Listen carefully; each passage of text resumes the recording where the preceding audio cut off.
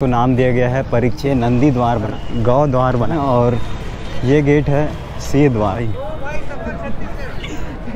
अरे सब्सक्राइबर भी जो पीपल का पेड़ है, उसको भी बेहतरीन तरीके से सजाया गया है लाइटिंग किया गया है। को मैं स्टेज की तरफ़ लेकर चलता हूँ काफ़ी सारे लोग पहले से ही पहुँच गए हैं और पंडित प्रदीप मिश्रा जी शिव महापुराण कथा का वाचन करेंगे। किया जा रहा है और अभी ये जो स्टेज है और स्टेज के जस्ट सामने में ये सब जो चेयर लगाई गई है, ये वीआईपी लोगों के। जगह पर प्रोजेक्टर लगाया गया है, पंखा लगाया गया यहाँ पर अभी भगवान शंकर की प्रतिमा को ला लिया गया नमस्कार, जय जोहार, स्वागत है आप सभी का हमारे इस नए ब्लॉग में। आज मैं आप लोग को एक बार फिर से लेकर आ गया हूँ, जहाँ पर प्रदीप मिश्रा जी का शिव महापुराण कथा होने वाला है उस ग्राउंड में।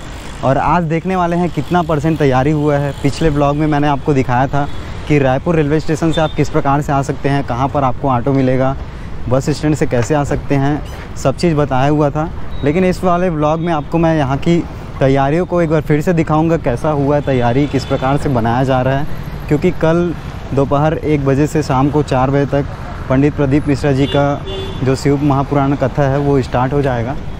तो देख सकते हैं, कुछ इस प्रकार से यहाँ पर एंट्री गेट बनाए हुए हैं और यहाँ पर चार टू एंट्री गेट बने हुए हैं। एक यहाँ पर है, एक वहाँ है और आगे और दो भी है। तो ये वाला जो एंट्री गेट है, इसको नाम दिया गया है परीक्षित द्वार। और यहाँ से अगर आप एंट्री करेंगे तो सीधे स्टेज के पास पहुँचेंगे। तो देख सकते हैं, बहुत सारे यहाँ पर बोर्ड वगैरह सब लगे हुए हैं।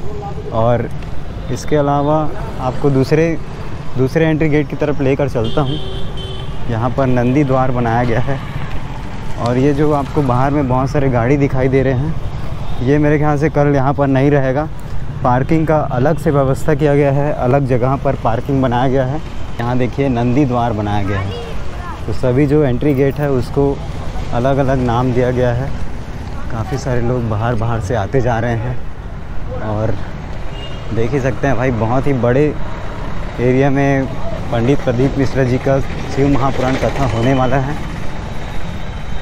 और मेरे ख्याल से लगता है कि ये भी जगह छोटा पड़ जाएगा, क्योंकि प्रदीप मिश्रा जी के जो शिव महापुराण कथा में बहुत ज़्यादा भीड़ रहता है, लोग दूर दूर से आते हैं और यहाँ पर गौ द्वार बनाया गया है। तो फ़िलहाल ये भी अभी बंद है। आपको वो वाले गेट से लेकर चलते हैं अंदर। अभी एक ही गेट को खोला गया है। बाकी देख सकते हैं, बेहद ही खूबसूरत तरीके से सजाया गया है और बाहर में ये सब पोस्टर वगैरह लगा हुआ है 9 नवंबर से 13 नवंबर 2022 दोपहर एक बजे से शाम को चार बजे तक दही हांडी मैदान, हनुमान मंदिर, गुड़ियारी, रायपुर। ये सब एड्रेस लिखा हुआ है। और खाने पीने की व्यवस्था जो है, वो भंडारे की व्यवस्था किया गया है। ये वाले गेट के पास आ चुके हैं और ये गेट है सी द्वार। इसको सी द्वार नाम दिया गया है। अंदर आपको लेकर चलते हैं और दिखाते हैं यहाँ की क्या कुछ तैयारियाँ हैं। तो ये है सी द्वार। देखिए, जैसे ही आप अंदर आएँगे पूरा तैयारी चल रहे है। राइट साइड में पुलिस सहायता केंद्र है और आपातकालीन चिकित्सा केंद्र है। अरे सब्सक्राइबर भी लोग मिलते जा रहे हैं यहाँ। ये सब सब्सक्राइबर भाई लोग मिलते जा रहे हैं। कहाँ से हो भाई? अच्छा और जैसे आप अंदर आएँगे, पूरा तैयारी हो ही चुका है। ये सब मेट वगैरह बिछा दिया गया है और बड़ा सा भाई ये सब सीट लगाया गया है। बहुत ही बेहतरीन तरीके से।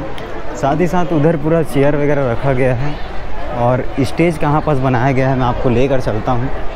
बाकी देखिए, अभी से ही लोग आ गए हैं यहाँ पर तैयारियों को देखने के लिए और बीच में जो पीपल का पेड़ है उसको भी बेहतरीन तरीके से सजाया गया है लाइटिंग किया गया है और लोगों का भीड़ आप देखिए पूरा। आज ही से ही भीड़ हो गया है और दूर दूर से लोग पहुँचते जा रहे हैं। ये आपको मैं स्टेज की तरफ़ लेकर चलता हूँ और दिखाता हूँ वहाँ पर किस तरह से तैयारी की गई है। देखिए, बहुत ही बड़े एरिया में इसको बनाया जा रहा है और ये सब पंखे वगैरह सब लगाए जा रहे हैं। हमारे चैनल के सब्सक्राइबर भाई लोग भी मिलते जा रहे हैं यहाँ। वाले एरिया में स्टेज बनाया गया है और वो जो सामने आपको दिखाई दे रहा है, वहाँ पर बनाया गया स्टेज। बाकी देख सकते हैं, पूरा पंखे वगैरह की पूरी व्यवस्था है। ये सब बॉक्स वगैरह लगाया जा रहा है ताकि ताकि दूर दूर तक शिव महापुराण कथा का आवाज़ सुनाई दे। और सामने आप देख ही पा रहे हैं, बड़ा सा स्टेज बना हुआ है, बेहद ही खूबसूरत सा, पूरा। काफ़ी सारे लोग पहले से ही पहुँच गए हैं और अपना अपना व्यवस्था कर लिए हैं। तो अब मैं आपको स्टेज के बिल्कुल फ्रंट में लेकर आ गया हूँ, जहाँ पर स्टेज को सजाया जा रहा है और जहाँ से पंडित प्रदीप मिश्रा जी शिव महापुराण कथा का वाचन करेंगे और देख सकते हैं कुछ इस प्रकार से बैकग्राउंड बनाया जा रहा है, बड़ा सा शिवलिंग बनाया जा रहा है और बेहद ही खूबसूरत सा सजाया जा रहा है भाई। यहाँ से आप देखिए, इधर पूरा जो भक्तों हैं, भक्तों का भीड़ रहेगा पूरा लाइन से।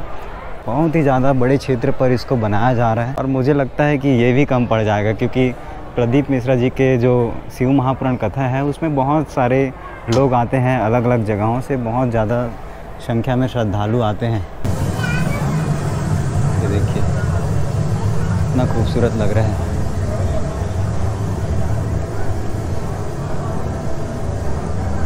तो बहुत ही खूबसूरत तरीके से सजावट किया जा रहा है और अभी ये जो सजावट का काम है, पूरा रात भर चलने वाला है और कल दोपहर एक बजे से शाम को चार बजे तक शिव महापुराण कथा जो है वो स्टार्ट हो जाएगा। इस प्रकार से तैयारी है। तो यहाँ पर स्टेज है और स्टेज के जस्ट सामने में ये सब जो चेयर लगाई गई है, ये वीआईपी लोगों के लिए है। पूरा इस वाले एरिया में वीआईपी लोगों के लिए चेयर है और इसको ब्लॉक चार पाँच छः सात ऐसा नाम दिया गया है। एक से लेकर पूरा उधर नौ दस तक पूरा ये वीआईपी वाला एरिया है। तो यहाँ पर हमारे चैनल के एक सब्सक्राइबर भैया मिले हैं। इनसे मिलके बहुत अच्छा लग रहा है। भैया आपका नाम क्या है? हेमलाल वर्मा। अच्छा खेमलाल भैया मिले। चलिए तो जब पंडित जी शिव महापुराण कथा वाचन करते रहेंगे और लोग उनको सामने से नहीं देख पाएँगे तो उनके लिए दूर से देखने के लिए यहाँ पर प्रोजेक्टर भी लगाया गया है। देख सकते हैं, जगह जगह पर प्रोजेक्टर लगाया गया है, पंखा लगाया गया है। उधर देखिए, वहाँ पर भी प्रोजेक्टर है। जो लोग पास से नहीं देख पाएँगे, वो लोग दूर से ही स्क्रीन पर देख सकते हैं। और बहुत ही बेहतरीन तरीके से यहाँ पर सजावट किया जा रहा है। साथ ही साथ, ये जो जगह है, उसको और भी बढ़ाने के लिए इधर और भी अभी काम चल ही रहा है। देख सकते हैं, पूरा सीट लगाया जा रहा है। और भाई, पाँच दिनों तक चलने वाला है शिव महापुराण कथा। तो ज़बरदस्त माहौल रहेगा। आप जहाँ कहीं से भी ये वीडियो देख रहे हैं, आप यहाँ पर आइए, देखिए। भाटापारा में हुआ था और सेकेंड टाइम अपने रायपुर, छत्तीसगढ़ में हो रहा है। तो बहुत खुशी हो रही है। और सभी को हर हर महादेव वीडियो को लाइक कीजिएगा शेयर कीजिएगा। और साथ ही साथ, अभी तक आपने हमारे चैनल को सब्सक्राइब नहीं किया होगा तो सब्सक्राइब भी कर लीजिए। बस यार चैनल को सब्सक्राइब करके रखिएगा। चलिए, मिलते हैं नेक्स्ट वीडियो में, तब तक लिए जय हिंद, जय भारत, जय छत्तीसगढ़। हर हर महादेव। तो भाई पेड़ को देखिए यार, कितना खूबसूरत सजाया गया है, पूरा लाइटिंग ही लाइटिंग इसमें भी। और जब शाम होगा, अंधेरा होगा, उसके बाद ये देखने लायक रहेगा। बाकी आप इधर पूरा माहौल देखिए, लोगों का अभी से ही भीड़ लगते जा रहा है। काफ़ी दूर दूर से लोग पहुँचते जा रहे हैं और यहाँ पर अपना व्यवस्था ढूंढ रहे हैं। बाकी देखिए, कुछ इस प्रकार से तैयारी है। ये शिव महापुराण कथा स्थल में रखने के लिए शंकर जी का मूर्ति भी लाया जा रहा है। और ये पूरा पंडाल मैंने आपको घुमा दिया है बाकी देखिए मूर्ति लाया जा रहा है भगवान शंकर का।